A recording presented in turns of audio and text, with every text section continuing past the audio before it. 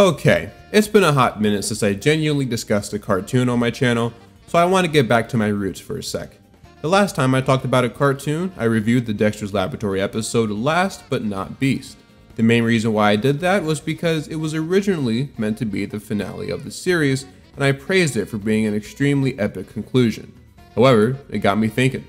Although it's always nice to see shows end on a high note, it's arguably even more important that shows begin on a high note. So I started thinking about my favorite cartoon pilots and I came up with some pretty good ones. Help Wanted from SpongeBob is of course a classic, Foster's Home for Imaginary Friends has a really good one, and I even really like the way My Life as a Teenage Robot started. But for me, there's one pilot in particular that I think is so good, yet went under most people's radars due to it being attached to a lesser known cartoon. And obviously, judging by the title and thumbnail of the video, you can tell that I am talking about the Mighty B's pilot. But why? Why do I think it's so good? Some of you probably don't even remember the pilot. Well, hopefully by the end of this video you will understand what I'm talking about because today we will be analyzing the first episode of The Mighty B titled So Happy Together. So sit back and relax because you might have some fun with this one. Uh-huh. So funny. I hate myself. Stick around. The Mighty B is buzzing your way next, right here on Nicktoons. If you are like me, you're always looking for ways to make cooking easier and more enjoyable. That's where today's sponsor, HelloFresh, comes in. HelloFresh is a meal kit delivery service that delivers fresh, pre portioned ingredients and recipes to your door. All you have to do is cook them. Boom, easy as pie. 3.14. And with the prices of groceries getting higher every single day, now is the perfect time to try it out. It'll save you a trip to Giant, or Food Lion if you live in the South. HelloFresh offers a variety of meal plans to choose from, so you can find one that fits your dietary needs and preferences. You can also choose how many meals you want per week and the number of servings per meal. And because the ingredients are pre portioned, there's no waste. It makes cooking time so much easier, no lines at the store, no talking to customer service, just good old home delivery. Plus, you don't have to worry about getting any rotten food because the ingredients are picked at peak ripeness for quality and taste and shipped in a timely but safe manner. Right now, yes, right now, you can get a special discount on your first order.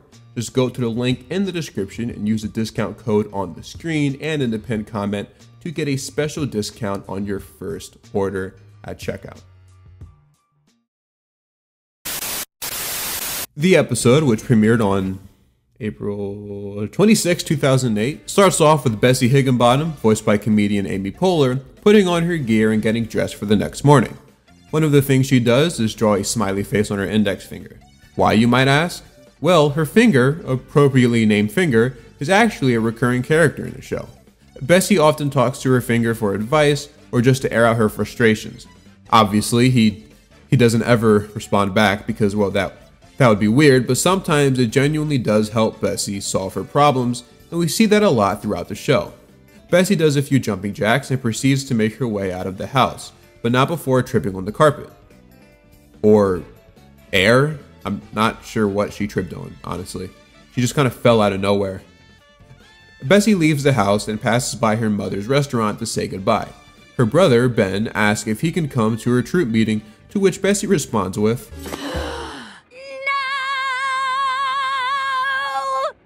Ben throughout the show was hell bent on getting into at least one troop meeting, so that's another thing that they introduced. Continuing her stroll, Bessie gets greeted by a bunch of people, showing that Bessie has a great relationship with everyone in her neighborhood, and that they all know her by name. She's not just some regular normal girl to them. All the adults know that there's something special about Bessie. Even the neighborhood hippie is tight with her. To me, that is how a protagonist should be introduced in a series. They don't go out of their way to show how people feel about Bessie, they just kind of show you, and it's very, very natural. Bessie then approaches the Chinese food restaurant that she uses as a shortcut. Mr. Wu, the owner of the shop, realizes that Bessie is there. Bessie gets real serious real quick and prepares to battle Mr. Wu. The customers of the restaurant then turn into ninjas to begin the battle.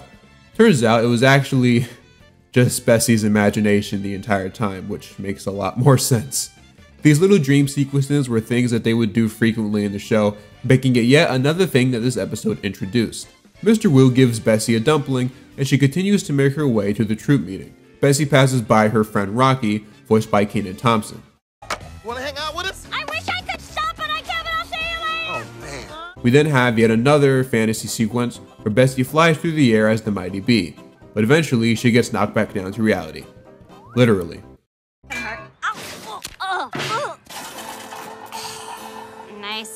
Flight, mighty. We then meet three new characters Portia, Penny, and Gwen. Portia and Gwen are, in a way, the series' main antagonists. They aren't really villains, but they definitely have a disliking towards Bessie. It's really a SpongeBob and Squidward type situation, or a Zeke slash Luther and Kojo situation. I love how effortlessly I fit Zeke and Luther into all my videos. You guys gotta give me some sort of award for this. I'm, I'm really good at it. Penny, on the other hand, is the Patrick to Bessie's SpongeBob, despite the fact that she's often hanging around Portia and Gwen. And when I say she's basically a human version of Patrick, boy do I mean it. I the Peter. Portia's kind of like Sharpay from High School Musical, but with a really heavy Valley Girl accent, and Gwen is portrayed to be Portia's rough mannered sidekick. Portia tells Bessie that the dog she's currently holding is going to be trained for the Honeybee Dog Show, where the winner gets the Animal Appreciation Badge. Mm, but you don't have a dog anyway, Bessie. Guess you're not gonna get the badge this time. One thing I really appreciate about this show is that occasionally it'll skip in between animation frames and just go straight from pose to pose. Now, admittedly, this wasn't the best example of this because only her eyes were moving, but when accompanied with the right sound effect, it creates a much bigger and sharper impact. In the next scene, we see that Bessie is bugging her mom about getting a dog so she can compete in the Honeybee Dog Show. And after giving her over 700 reasons why she thinks she should have one, Bessie's mom, whose name is Hillary, agrees to let her go out to rescue a dog. But the only thing is, she has to bring her brother Ben. While the two are on their way to rescue a dog, Bessie explains to Ben that in order to fully become the Mighty B, the character we see in her daydreams and fantasies, she has to collect over 4,000 more honeybee badges, which is why she desperately wants to adopt a dog so she can have it compete in the dog show. Just then, Ben points out that there's a stray dog not too far away from them. Bessie approaches him and helps him out by scratching his back, something that makes the dog very happy. She introduces herself but quickly notices that the dog has a torn ear, which to her makes him even cooler. She asks him if he wants to be her dog, and he quickly makes an escape only for Bessie to lasso the collar around his neck, basically forcing him to be domesticated. Oh man, you're so happy. I'm gonna name you Happy. There it is right there. See, she did it again. I love how they animate the characters in this show. This Mighty B not the best time for you to go anywhere. We've still got more Mighty B after the break. Overachievers rejoice. Your hero has returned. Mighty B is back. In the next scene, Bessie is seen teaching Happy dog obedience. She does this by teaching the dog to stay even though Happy is tied up to a tree. Bro really can't go anywhere even if he wanted to. She then teaches him how to fetch, another activity he has no interest in. And the most important dog trick of them all, ballroom dancing. Ben is getting frustrated by Happy's lack of enthusiasm and calls him the worst dog ever.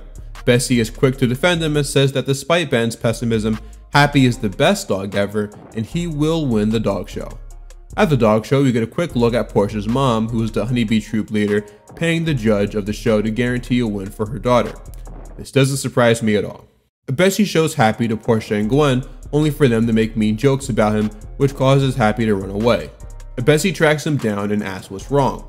She then channels her inner Eliza Thornberry and communicates with Happy about his feelings on being in the dog show and really just being Bessie's dog in general.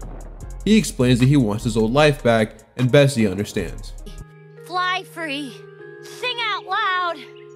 Right if you can't. Where are you going? Bro, that dog said Zoom! Man, I like this show.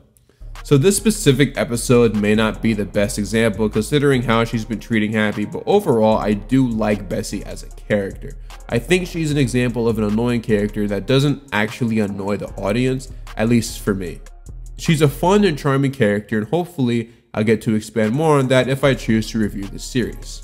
Finger, who basically serves as Bessie's therapist, tells her that she's in the wrong and needs to let him go. And she agrees. Meanwhile, at the dog show, Portia and her dog are walking down the stage as Rocky and Ben boo her in disgust. We then go back to Happy walking back to the city as he gets flashbacks on all the love that Bessie showed him. He considers going back but ultimately rips up the thought bubble, which I gotta say is a really solid visual gag, and walks away. Back at the dog show, things are going pretty well for Portia, but Bessie still has to go up there with her dog, which is an issue for, you know, obvious reasons. She gives a speech letting everyone know that her and Happy have mutually agreed to part ways, and while she's speaking, she hears a dog barking. She gets excited thinking it was Happy, but it was actually just some random dog. She runs off the stage crying, but just then, Happy runs to her and grabs her shirt. Or is it a dress? Whatever she's wearing. Bessie asks Happy if he wants to continue to do the dog show, and he happily agrees. That wasn't even a pun, like that I did on purpose in the script. It, it just kind of happened. Then during a montage, we see Happy and Bessie showing off their skills to the judges and audience members. Let me tell you, man, this show is so fun. Not every episode is this good, but a lot of them do give off the same uh, positive energy, and it just makes you feel good. This episode does a good job of setting up the tone for the rest of the series, and you'll see what I mean if I decide to review the rest of the show. Or, you know, you could just watch it on Paramount Plus, that works too. The audience is obsessing over their performance and starts chanting their names. The judge gets nervous by this, and although he was already paid to give Portia's family the win, he calls it a tie, which makes the crowd angry. So then he decides to look at each dog's breeding and will determine the winner that way. He checks out Happy and calls him a typical beat up mutt and says that Precious is the winner. Bessie steals the judge's microphone and says that she's okay with losing because at the end of the day, she loves Happy and Happy loves her. And that makes her happy. Oh, brother, this guy stinks! She also says to tip your waitresses. The crowd boos once again, and Portia's mom says that her dog is a real show dog, unlike Happy.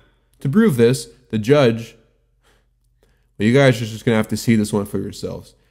See this gorgeous set of choppers? that's not a dog. That's a rat.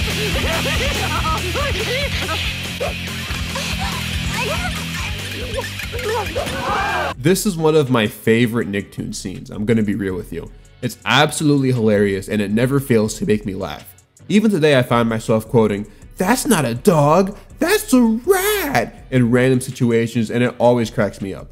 Anyway, Ben takes the badge away from the judge and gives it to Bessie. Only 4,583 badges to go. Awesome! We're so close. And yeah, that's uh that's how it ends. It kind of throws me off guard too sometimes, but that is legitimately the ending. And despite its abruptness, I like it. I like it a lot. It sets up the rest of the series really well, as does the whole episode.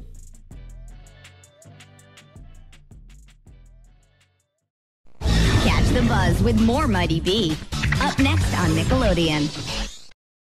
So, final thoughts on this episode? Well, believe it or not, this is one of my favorite cartoon pilots of all time.